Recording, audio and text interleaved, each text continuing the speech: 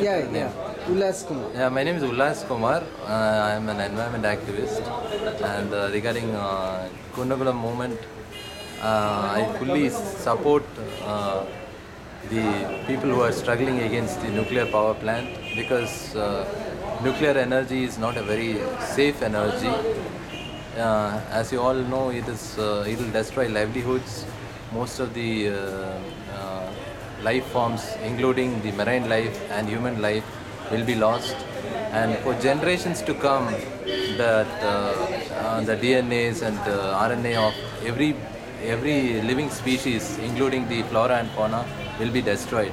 The maximum effect of this is uh, going to be for the Kerala people because uh, the Kerala is on the westerly winds.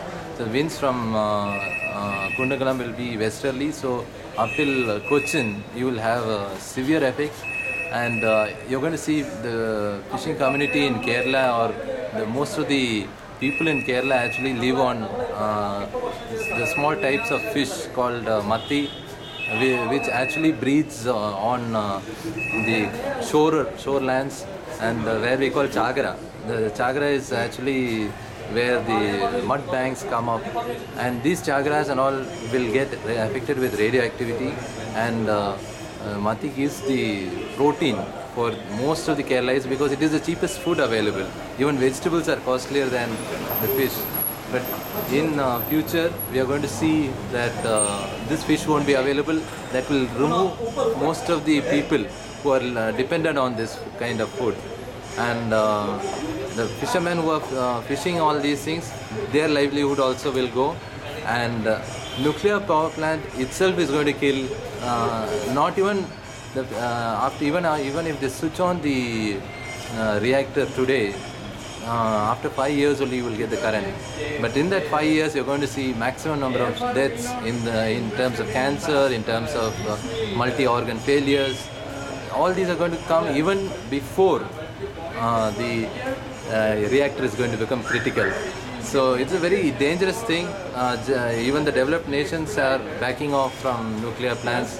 So, and this technology is a Russian technology, which is a very obsolete, which is very olden, and they have used the very unsafe materials to build this plant.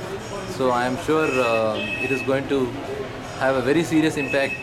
Like if you see the indigenous uh, built nuclear reactor like Kalpakkam, which was done by our own scientists, which is a small plant but still has big impact on the villages nearby. If you go to Kalpakkam and uh, to Mayurkapum or uh, villages near Kalpakkam, people all have cancer. People have different kinds of cancer.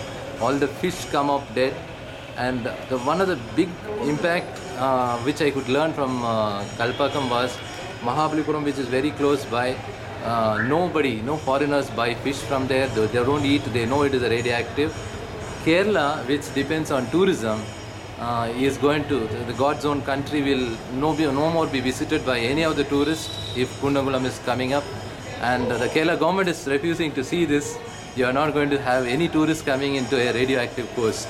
So the tourism revenue also will go, and uh, they will not buy any material. So the populations which depend on tourism will also die down.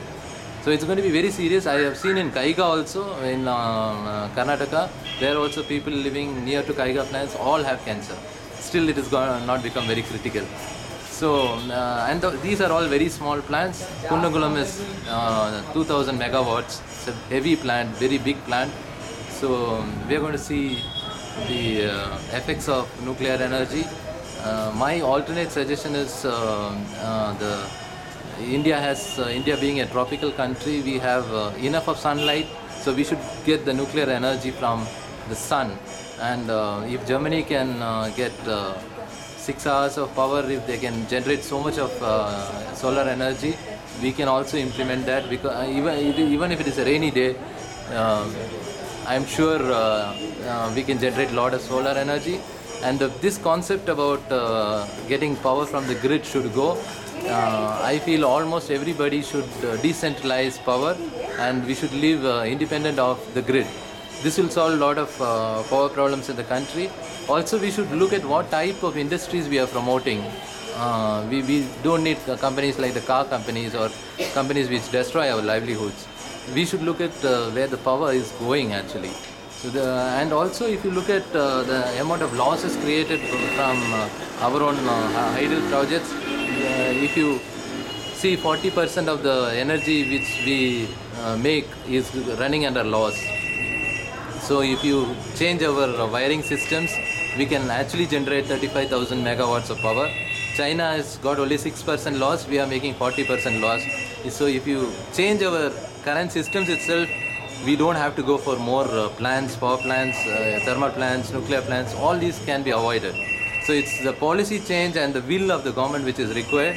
That will is not there today because uh, we are under the pressure from US and two, three agreements, and uh, the agreements are that in case of a liability, it will be shifted to the citizens. So if there is an accident, uh, we have to bear the problems. And I hope all the citizens of Kerala and uh, Tamil Nadu understand this and start fighting against this. We are all with you. Thank you.